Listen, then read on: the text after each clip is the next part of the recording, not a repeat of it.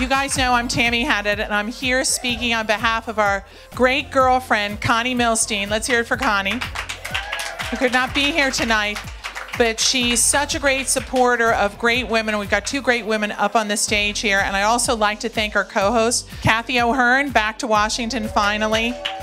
Hillary Rosen, Don Lemon every night. Hillary Rosen from 11 to 11:30. Thank you very much. Juleanna Glover couldn't be with us, and the great Heather Podesta. Carol Melton, ladies and gentlemen, from Time Warner. No, you got to stand up the whole way. Carol, thank you so much. And Connie Milstein, our Connie Milstein. Now, I clearly should be turning it over right now to the great Megan Murphy, who is now editor of Business Week. Oh, we knew her when. She was running the Washington Bureau of Bloomberg and such a great friend. And Holly, can I just say, even though it's not my job right now, that it's an honor to be your friend. Oh. This book is remarkable. And we're so thrilled that you came to Washington, gave up that New York thing. I mean, we'll all be meeting you in the Hamptons later this summer, but I gotta be honest, it was hot all day and it wasn't because of the independent counsel. I just wanna be clear. All right, Megan Murphy. Well, thank you so much, Tammy. Thanks, Holly, for being here. So, look, I want to talk about the book and talk a lot about the issues it raises. I, the book is amazing. It's a great beach read. Please grab it on your way out if you haven't grabbed it. Um, and it sort of surfaces stuff that I write a lot about at Business Week, that we think a lot about in the current context, which is just the changing nature of America in Yeah. terms of not just the haves and the have-nots, but sort of the super haves, Yeah. the sort of kind of haves, Yeah. the wanna haves, and the truly poor. And you you actually do uh, depict that society in a place that a lot of people don't think it exists, but that's the Hamptons. Yeah, well, I think that the class conflict that's roiling this country uh, is shown in technicolor in a summer community. Whether it's Nantucket or Martha's Vineyard or Aspen or some Lake Minnetonka or wherever it is on the coast of this country, what's going on between the 99% and the 1% is really testosterone fueled in the summer because these one percenters come in to their second homes. Mm. And sometimes their second homes in the Hamptons are $40 million estates on the ocean, and they have helicopters, and these people are worth half a billion dollars. Those are the uber one percenters. But even the one percenters that can afford a vacation home or even a vacation, you know, the rest of the country can't afford that. And so there's this amazing tension between the classes in these communities, and that's, you know, the lifeblood for any author. So that's the setting for my book, right? And I have spent about 15 or 20 years writing social satire. Why? Because I think wealthy people, I think people who have made it big in Manhattan. I worked for Tina Brown, the editor, for a long time after working at Newsweek, and I think the people that hit it big in New York are some of the most fascinating people around because they're so intensely neurotic and they're so passionate about what they do and they're so insane in their drive. And it often comes from some crazy wound from their childhood. And there's these kind of narcissistic freaks that are running empires all over this country. Narcissistic freaks are running stuff? Yeah, yeah. I know it's amazing. I know you wouldn't think that in this country. How strange. And when I worked for Tina, I used to profile them all the time, and then I started moving into fiction because, um, as you and I were saying earlier, you know, fiction frees you up to write in a way to actually seek the truth a little closer because you're not constrained by all the, the rules that we have in journalism. You know, you can write about something very real when you write a novel. I hate those rules. Um, for those of you who haven't read the book, it sort of tells this journey of a, of a woman who lives in Portland, Oregon, and has a quite happy life. I can, I can, I'm not spoiling Yeah, anything no, by no, telling no. this, so just broad brush. So she lives in Portland, and she uh, moves for the summer to Southampton. It's called Southampton in the book, and that's one of the things. You don't call it the Hamptons, call it Southampton, East Hampton, Bridgehampton. But and because she's in love with a with a not in love, sort of in lust with a new Yes. With a new guy. And one of the things I thought was most interesting was how you depict not just the class conflict between newcomers to a summer community, but and uh, you know a- an embedded surfer community, a sort Yeah. of uh, dedicated year-round community, but the tension between let's call it the point zero zero zero zero one percent and the point zero one percent. And Yeah. I find that frequently in my job now that that's a more omnipresent conflict than we expect between the super super uh, uber wealthy Yeah. and just the wealthy and Yeah. how that's playing out and how that's actually shaping political discourse, socioeconomic discourse, shaping policy, et cetera? It's completely shaping policy in this country. And what you see is that these people that are participating in the stock market rises, right? They're, it's a very select group of people. You have to have enormous amount of savings in order to put it into something in order to get the rush of profits like Niagara Falls falling all over you, like these people to have right now, right? There's not that many people that can pay for a house, pay for kids, pay for cars, and have that much extra to make money from. But these guys, mostly guys, unfortunately, but you know, that have millions and millions of dollars, they're making millions and millions of dollars weekly and monthly off these stock markets and hedge funds and all these things. And that's what's creating this just enormous divide between the 0.0001% and the 1 or 2%, right? Mm. And there is there is tension between those groups because there's people, you know, if you think about Michael Douglas in Wall Street, right? when he was saying greed is good in the 90s or the 80s or whenever it that was, was, it was the 80s. Okay, we were talking, you know, guys on Wall Street made a couple million dollars, right? You yeah. know, five million dollars used to be a big salary, seven million on Wall Street, even in the beginning of the 2000s. That was a ton of money, and then it just catapulted in this completely other level with the hedge funds, and kind of post 2005-ish. And then those guys, because they had that cash, it makes insane money. Money makes money. And that's really what did it. And there is there's anger and envy and like how do you how do you get there? You know how do you do that? And of course that's that goes on between all kinds of people that are successful accomplished people.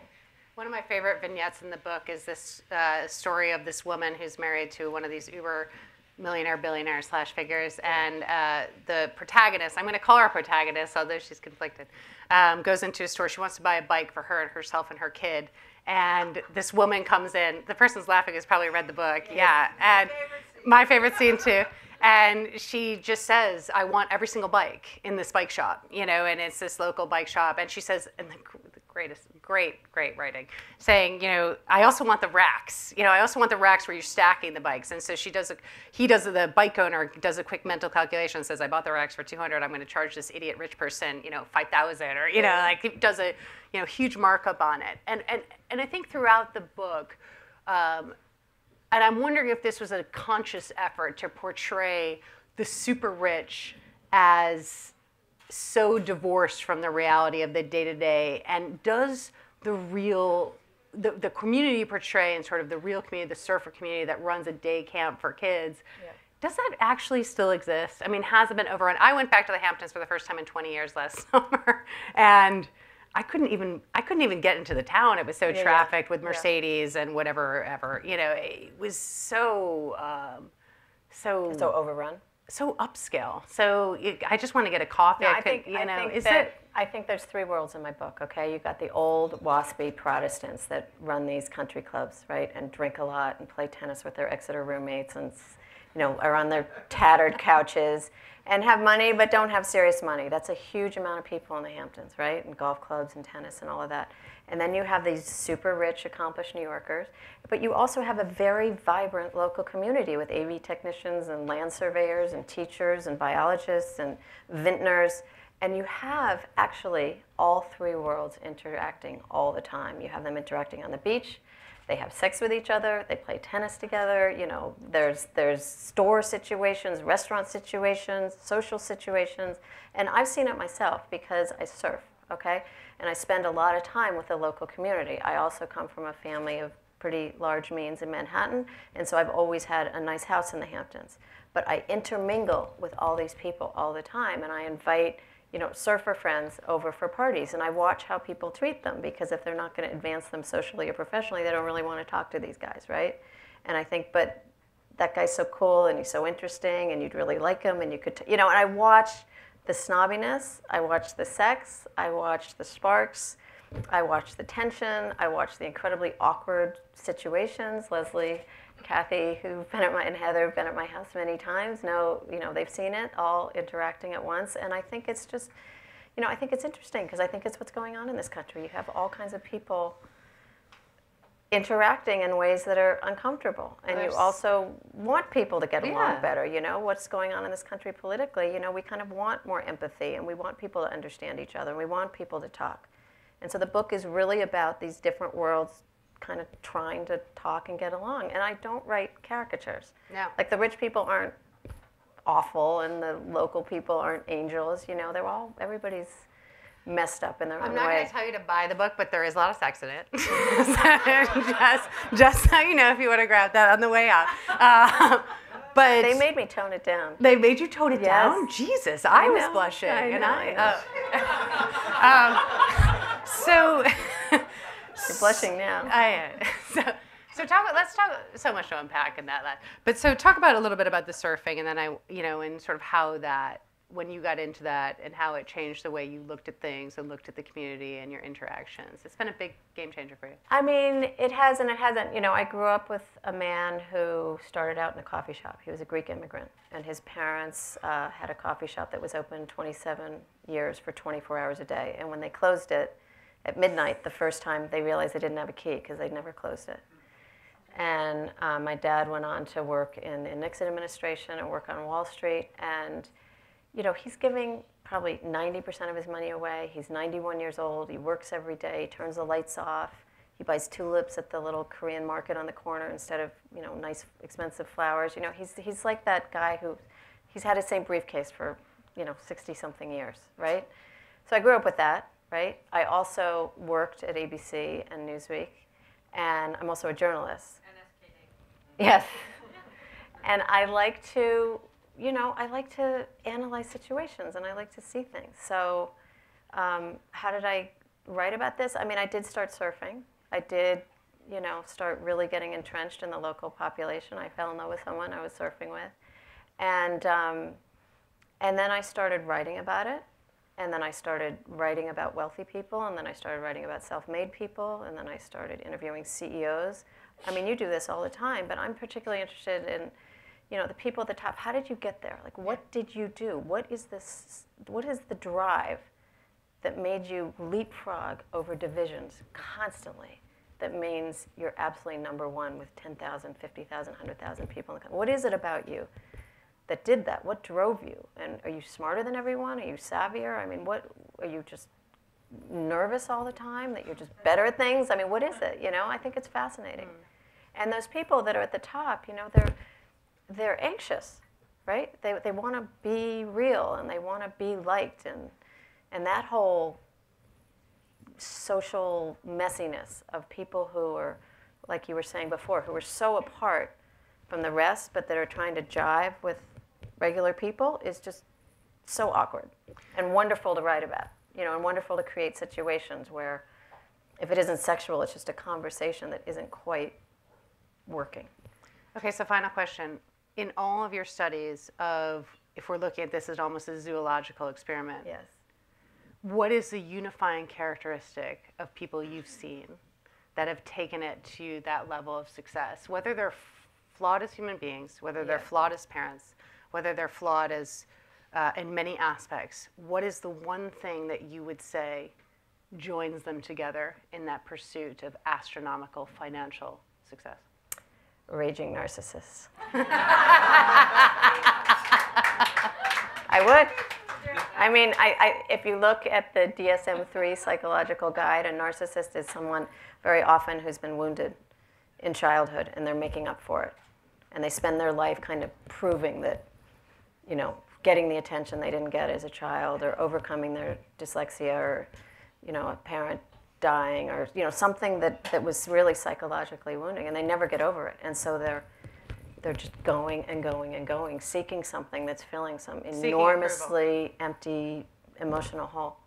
I really, I totally believe that. I have, I have rarely met a hugely powerful guy that, you know, unfortunately, as I say, it's often men, but sometimes women, but, you know, that, that got to the top who isn't just unbelievably weirdly driven. Well, with that optimistic view of the future. I mean, have you? Have you? Let me ask you that before we go. I mean, have you? You're running a huge magazine about this. I mean, have you met a lot of chieftains of industry that are kind of mellow and cool and not needing no, attention? I agree. I agree. Narcissism is probably a unifying, and panic. Yeah. Panic and narcissism and yeah. Okay. Can't say too much. Doesn't mean they're all, you know, mean. It just No. means that's what drives them. no, Sometimes they have huge panic hearts. narcissists are some of the nicest people I've ever met. Sometimes they're fabulous and charming and fascinating too, right? You know. So last summer, when I did go back to the Hamptons for the first time, I went to this party, this Fourth of July party, and uh, all these people had been uh, parents of kids who went to Buckley. Yeah. Where was it Eric? I think Eric went to Buckley. And they were always telling the stories about how Donald Trump was so involved at Buckley and he was so known and well voiced and they really respected him. And I thought it was really interesting that this uber rich club at the, you know at Yeah. this uber rich club that people were saying like oh we're so surprised by all this because at Yeah. Buckley he did great for the kids and Yeah. it seemed like from my minimal experience that Hampton's crowd was sort of sorry I should say you know Yeah. it was behind him a little bit it was interesting You know I've been called by a lot of reporters mm. to try to figure out what's the social life of these people and how do they interact in New York Yeah. and the kids. And I swear, I have never seen them. yeah I have never seen Ivanka and Jared. Not at a Park Avenue thing, not at a media thing, not at a Power Women thing. I think they just work. They go to Mount Kisco and they go to Mar-a-Lago. yeah So I think that's their social life of Jared and Ivanka, and I think um, Donald and you know they just they roam around. You know they just they go out once in a while, but not a lot. And I do believe I do believe he's like hugely magnanimous and Yeah. kind of fun in some school situation. I mean, he just had Barron to the White House. I bet he was fabulous. You know, with the teachers and the kids. I mean, I completely believe that.